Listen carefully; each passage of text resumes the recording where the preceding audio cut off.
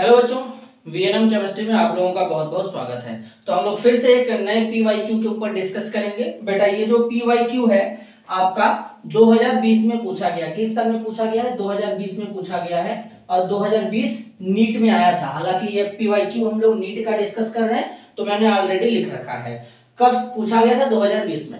अब देखिए, यहाँ पे क्वेश्चन किस तरीके से फ्रेम किया गया सबसे पहले इसको समझना ज़रूरी है। बोला गया है आइसो इलेक्ट्रॉनिक स्पीसीज आर। अब यहाँ पे कुछ स्पीसीज दिया है चार ऑप्शन में। इसमें से कौन सा स्पीसीज जो है आइसो इलेक्ट्रॉनिक है?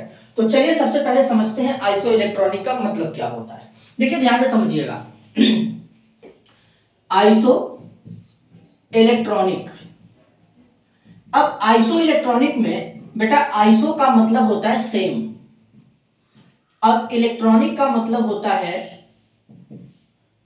इलेक्ट्रॉन मतलब ऐसे स्पीसीज जिसमें इलेक्ट्रॉनों का संख्या समान होता है, उसे आइसो इलेक्ट्रॉनिक स्पीसीज कहते हैं।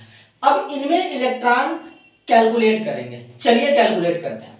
देखिए, सबसे पहले हम लोग सीओ में इलेक्ट्रॉन कैलकुलेट करते हैं। तो सीओ में इलेक्ट्रॉन कैलकुलेट करने का तरीका क्या होता है? आप सबका एटॉमिक नंबर लिखिए ऐड कर दीजिए। अगर नेगेटिव चार्ज है तो इलेक्ट्रॉन ऐड करिए पॉजिटिव चार्ज है तो इलेक्ट्रॉन रिमूव करिए। चलिए जैसे सबसे पहले ऑप्शन में सीओ दिया गया है। सीओ में अगर हम इलेक्ट्रॉन को ऐड करेंगे बेटा तो किस तरीके से इलेक्ट्रॉन को कैलकुलेट करेंगे? तो ध्यान से समझते हैं। देखो कार्बन का एटॉमिक नंबर कितना होता है? सिक्स ऑक्सीजन का कितना होता है? एट होता है। तो इनको जब ऐड करेंगे तो आठ और छह कितना हो जाएगा? चौदह इलेक्ट्रॉन हो जाएगा। कितना आसान है।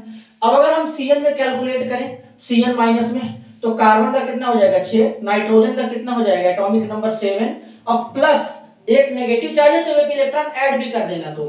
तो यहाँ पर एक इलेक्ट्रॉन ऐड कर दोगे तो टोटल इलेक्ट्रॉन कितना बनेंगे? सात, छह, तेरह, एक, चौदह इलेक्ट्रॉन बनेगा बेटा। क्लियर है? आगे चलते हैं। अब चलते हैं एनओ प्लस है। क्या है एनओ प्लस एनओ प्लस में इलेक्ट्रॉन कैलकुलेट करेंगे अपन। कैसे कैलकुलेट करेंगे? नाइट्रोजन का एटॉमिक नंबर सेवन ऑक्सीजन का एटॉमिक नंबर कितना होता है बेटा? एट होता है, लेकिन लेकिन, एक प्लस चार्ज है तो एक इलेक्ट्रॉन यहाँ पे क्या करोगे तुम? माइनस कर दोगे तो माइनस वन कर देना। तो यहाँ पर किस तरीके से होगा? अब समझना देखो, अब यहाँ देखो किस तरीके से होने वाला देखो, तरीका ये है, आठ सात कितना होता है? पंद्रह तो टोटल आ गया पंद्रह इलेक्ट्रॉन अब लेकिन एक पॉजिटिव चार्ज है तो एक इलेक्ट्रॉन इसमें से माइनस कर दो टोटल चौदह इलेक्ट्रॉन आ जाएगा। क्लियर है? आगे देखो। अब यहाँ पे सी टू टू माइनस है। तो टू लिखो माइनस टू लिखो। पहले कार्बन लिखो कार्बन का एटॉमिक नंबर कितना? छह होता है। तो अब यहाँ पे कार्बन है कितने बार? नीचे टू लिखा गया मतलब दो बार है। तो दो गुड़े कितना हो जाएगा? छह। तो छह दुना के कितना हो जाएगा? बारह। लेकिन यहाँ पे दो माइनस चार्ज है। दो माइनस चार्ज का मतलब दो इलेक्ट्रॉन ऐड कर देंगे। तो प्लस टू इलेक्ट्रॉन तो टोटल इलेक्ट्रॉन कितना हो जाएगा बेटा? चौदह इलेक्ट्रॉन तो इसमें देखोगे, पहले वाले जितने भी स्पीसीज हैं सारे के सारे में चौदह चौदह इलेक्ट्रॉन प्रेजेंट है। मतलब हम ये कह सकते हैं कि ये चारों एक दूसरे के आइसो इलेक्ट्रॉनिक होंगे। अब आगे चलते हैं। तो अब जरा सीओ माइनस में कैलकुलेट कर लेते हैं। तो अगर सीओ माइनस में कैलकुलेट करोगे तो कार्बन का छह हो जाएगा ऑक्सीजन का कितना हो जाएगा? आठ। और एक माइनस चार्ज है तो एक इलेक्ट्रॉन और ऐड कर देना तो आठ छ चौदह। एक प्लस इलेक्ट्रॉन और ऐड कर देंगे तो पंद्रह इलेक्ट्रॉन हो जाएगा इसमें। लेकिन यहाँ पे पंद्रह इलेक्ट्रॉन इसमें है, लेकिन इसमें कितना है? इसमें है छ और यहाँ पे सात। तो इसमें कितना इलेक्ट्रॉन हो जाएगा? तेरह इलेक्ट्रॉन हो जाएगा। इसमें कितना इलेक्ट्रॉन हो जाएगा? सात, आठ। इसमें कितना हो जाएगा? पंद्रह इलेक्ट्रॉन हो जाएगा। और इसमें छह दुना के बारह और एक और ऐड कर दोगे तो तेरह इलेक्ट्रॉन हो जाएगा। तो कहीं ना कहीं इसमें तो ये वाला ऑप्शन गलत होने वाला है बेटा। इसमें इलेक्ट्रॉन क्या है? सब में सेम नहीं है।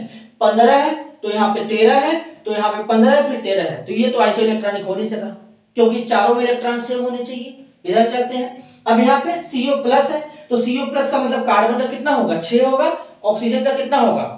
आठ होगा। तो आठ से चौदह, लेकिन एक प्लस चार्ज आ गया तो एक इलेक्ट्रॉन रिमूव कर देना। तेरह इलेक्ट्रॉन हो जाएगा। तो ये भी हमारा कहीं ना कहीं आइसो इलेक्ट्रॉनिक कैटेगरी में नहीं आएगा, और ये भी नहीं आएगा बेटा। तो सही वाला आंसर क्या होगा इस क्वेश्चन के लिए? ऑप्शन ए होगा, क्योंकि ऑप्शन ए में जितने भी स्पीसीज दिए हुए हैं, सब में इलेक्ट्रॉन का संख्या क्या है? समान है। तो इस तरीके से आइसो इलेक्ट्रॉनिक स्पीसीज पे भी ये प्रॉब्लम पूछा करता है।